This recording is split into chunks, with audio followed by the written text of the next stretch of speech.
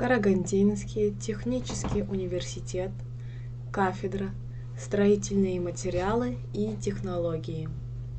Дисциплина Химия строительных материалов. Тема занятия Способы получения и применения полимеров. Седьмая лекция, часть первая.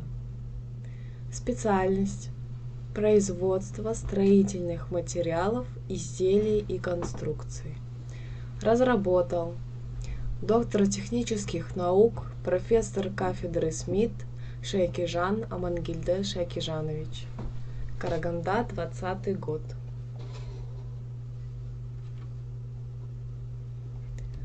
План занятия. Первое. Общие положения органической химии. Второе. Классификация органических соединений. Третье. Высокомолекулярные соединения. Четвертое. Строительные материалы на основе высокомолекулярных соединений. Цель занятия – изучение способов получения и применения полимеров формирование теоретических основ прикладной химии, необходимых для решения профессиональных и естественно-научных знаний. Задач. Первое. Общие положения органической химии. В современной теории строения органических соединений основными являются следующие положения – все особенности органических соединений определяются прежде всего свойствами элемента углерода. Исключительным свойством углерода, обуславливающим многообразие органических соединений, является способность его атомов соединяться прочными ковалентными связями друг с другом, образуя углеродные цепи практически неограниченной длины.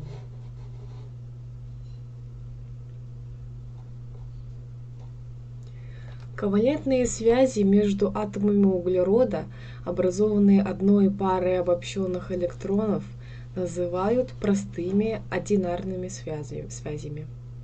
Связь между атомами углерода может осуществляться не одной, а двумя или тремя общими парами электронов.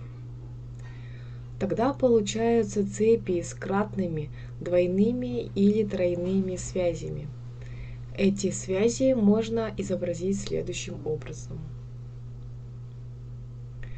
Теория строения объяснила многочисленные случаи изометрии органических соединений. Цепи из атомов углерода могут быть разветвленными и неразветвленными.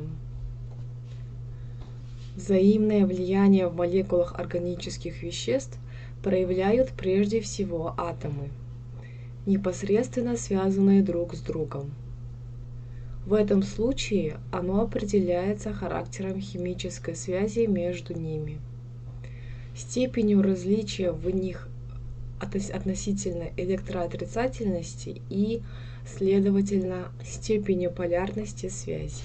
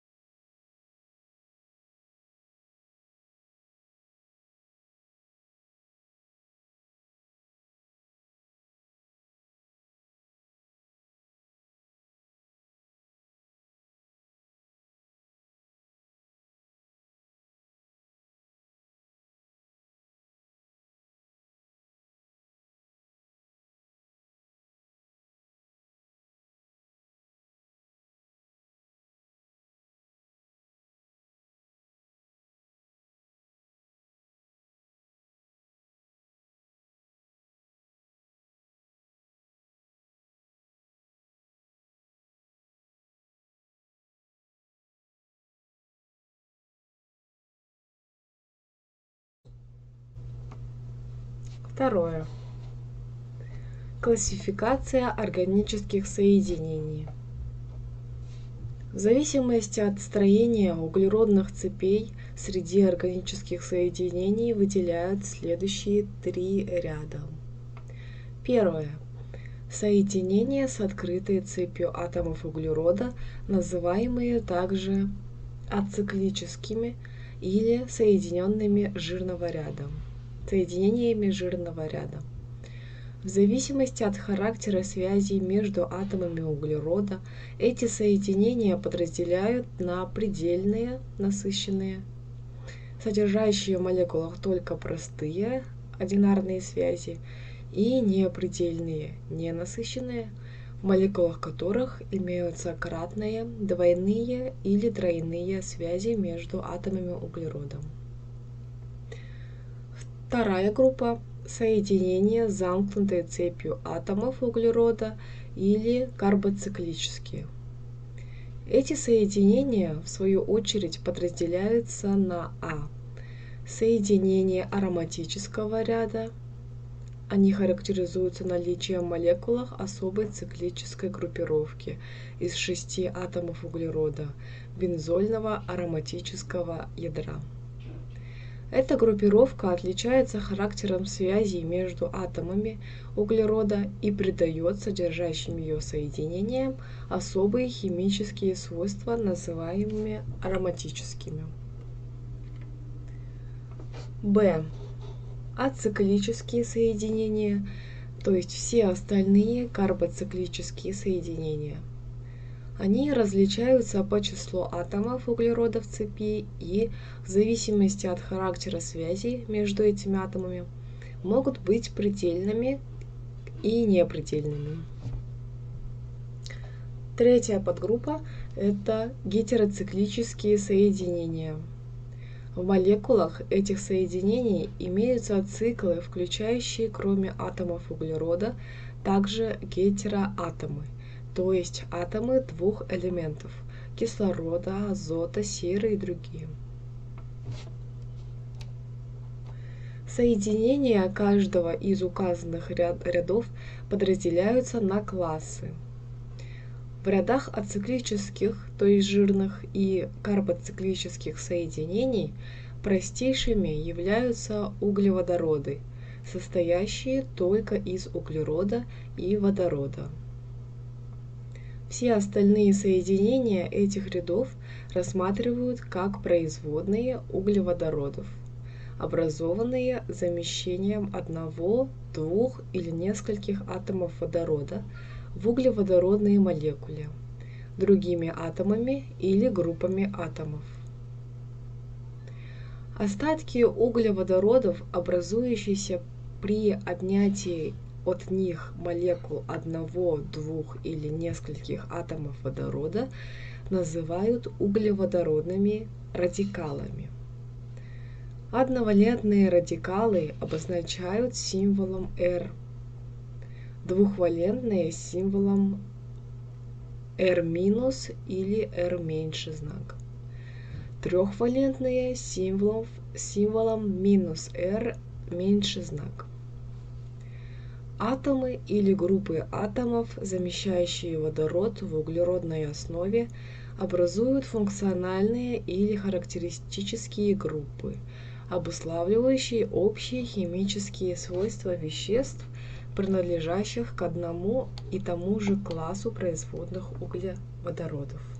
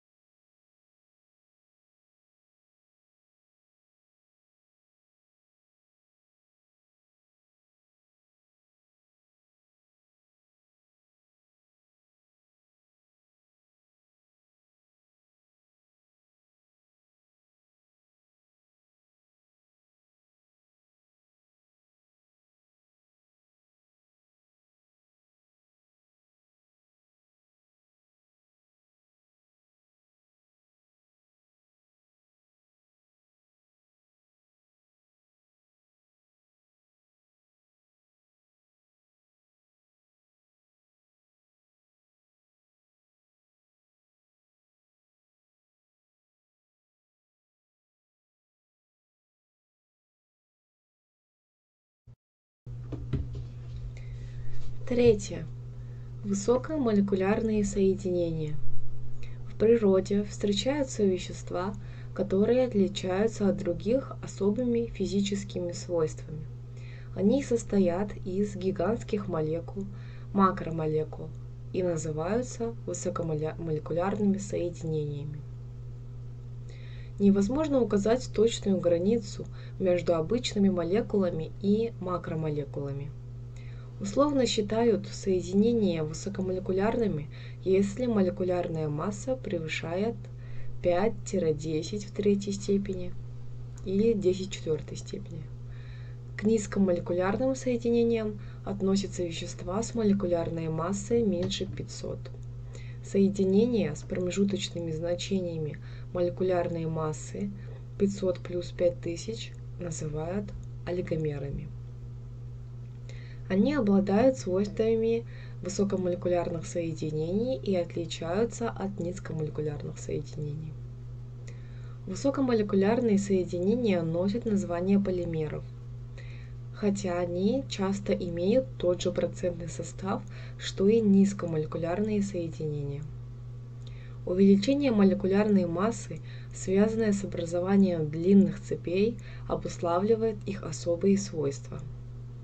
Невозможность перегонки и перекристаллизации, незначительная вязкость, набухание в растворителях, предшествующее растворению, образование пленок и волокон при удалении растворителя, а не кристаллов, пластическая деформация – обратимая деформация, создание изделий из расплава,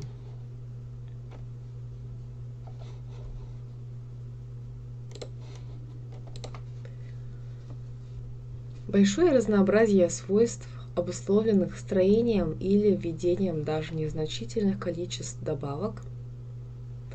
Высокомолекулярные соединения могут быть природными, искусственными и синтетическими – к природным относятся белки, целлюлоза, крахмал, лингин, каучук и смолы.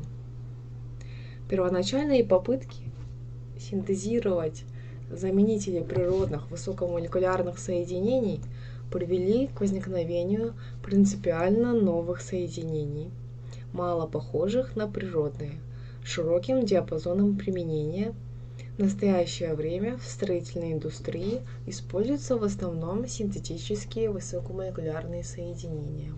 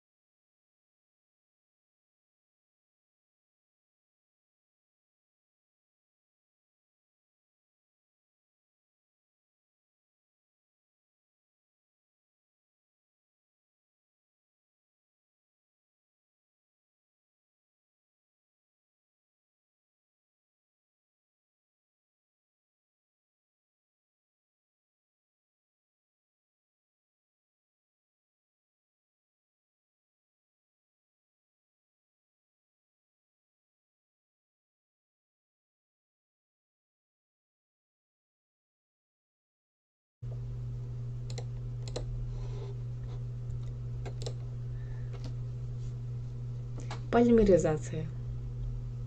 Полимеры получаются двумя основными способами – полимеризацией и поликонденсацией. В общем случае они образуются от отдельных простых молекул, называемыми мономерами. Молекулу высокомолекулярных соединений, состоящую из большого числа повторяющихся мономеров, называют макромолекулой. Полимеризация – реакция соединения мономеров за счет раскрытия двойных связей. Пи связь преобразуется в две бета-связи или превращение циклического соединения в линейное.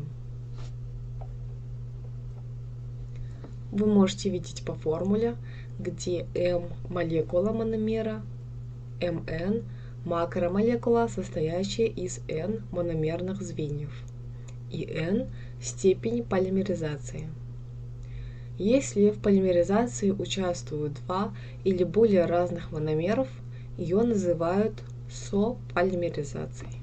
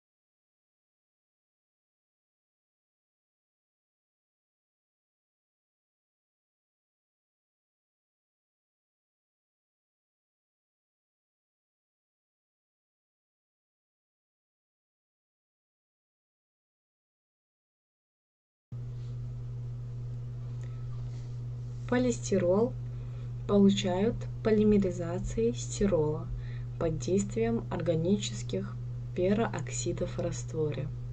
Стирол – вязкая, легко воспламеняющаяся жидкость, которая легко испаряется и легко полимеризуется в полистирол. Если не добавить стабилизатор. У людей нервная система является наиболее чувствительной мишенью – после хронического ингаляционного воздействия и, вероятно, наиболее чувствительной мишенью после кратковременного воздействия. Первичные эффекты острого воздействия как на животных, так и на людей включают раздражение кожи, глаз, дыхательных путей. Стирол может адсорбироваться при проглатывании или контакте с кожей. Полистирол – это широко используемый пластик во многих сферах жизни человека и промышленных товаров.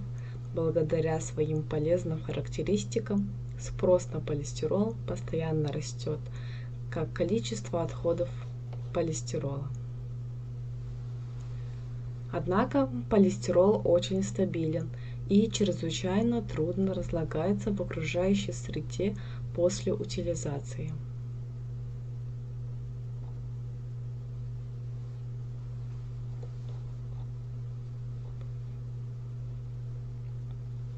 При обычной температуре полистирол представляет собой твердый прозрачный материал, схожий на, стекло, пропускающий до 90% видимые части спектра. Выпускают полистирол в виде гранул 6-10 мм, мелкого и крупнозернистого порошка, а также в виде бисера с влажностью до 0,2%.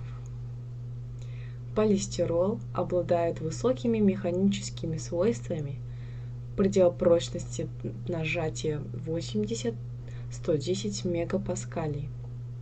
Водостоек хорошо сопротивляется действию концентрированных кислот. Кроме азотной и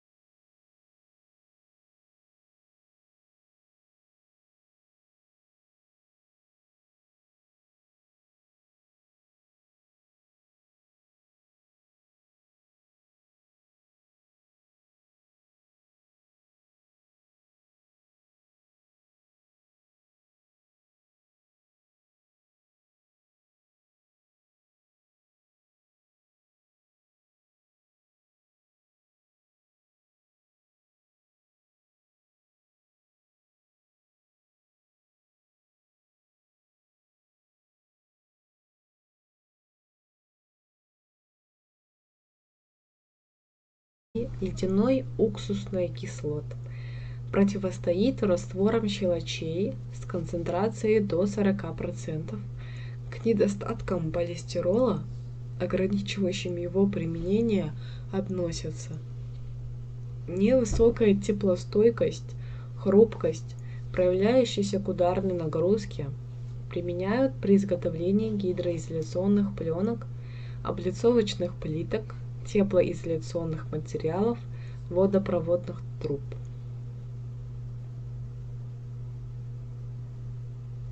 Подразделяется полистирол на ударопрочный, общего назначения и вспенивающий. Синтез стирола впервые был осуществлен в лаборатории американской компании европейской промышленности производство впервые было освоено еще в начале 30-х годов XX века. В Советском Союзе полистирол применялся с 1938 года в военной промышленности как суспензионный полистирол вспенивающийся и нашел применение в качестве уникального термоизолятора гражданском строительстве. Полистирол принадлежит к ряду аморфных термопластов, которые, как известно, легко окрашиваются и формуются, а также хорошо обрабатывается. При этом он практически не поглощает влагу и стоит к низким температурам. Эти свойства позволяют применить полистирол общего назначения, ударопрочный и вспенивающийся не только в производстве, но также в производстве бытовых и электронных приборов.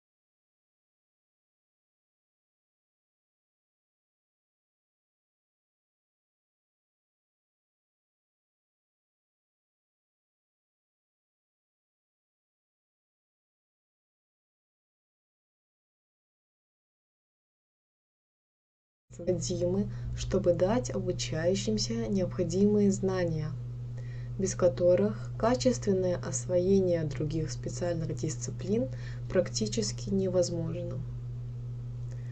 Дана классификация органических соединений и строительных материалов на основе высокомолекулярных соединений. Вопросы для самоконтроля СРС.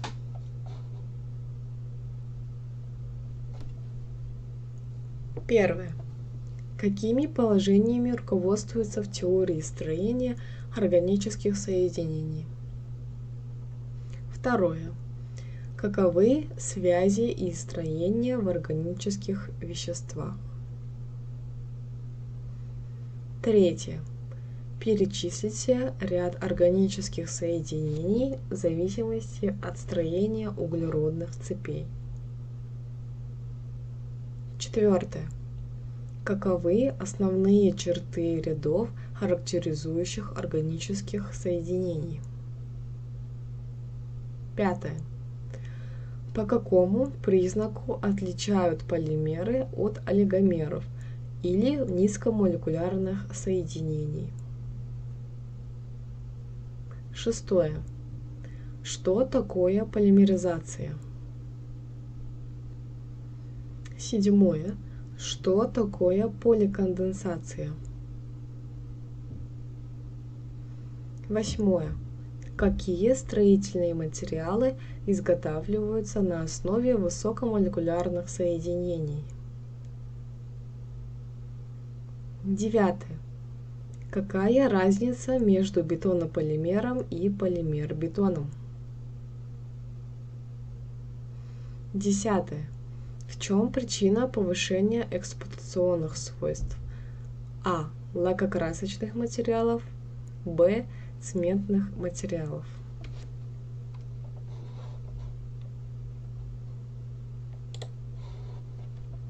Список использованной литературы.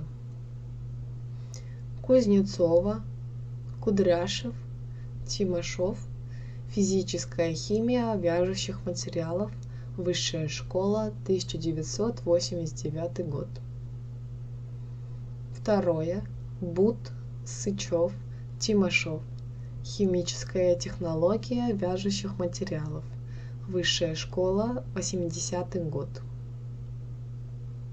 Третье. Бабу, Бабушкин, Матвеев, Бучедлов, Петросян. Термодинамика силикатов. Стройиздат, 1986 год. Четвертое. Шекижан, Рахимов, Рахимова – Химия твердых фаз вяжущих материалов. Караганда, 2009 год. Спасибо за внимание.